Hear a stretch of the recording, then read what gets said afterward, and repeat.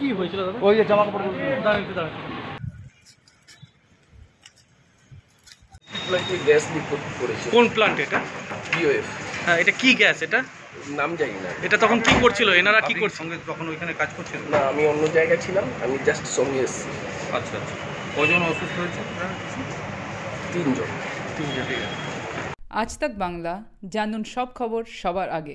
Subscribe করুন আজ তাক বাংলা বেল আইকন প্রেস করতে ভুলবেন না।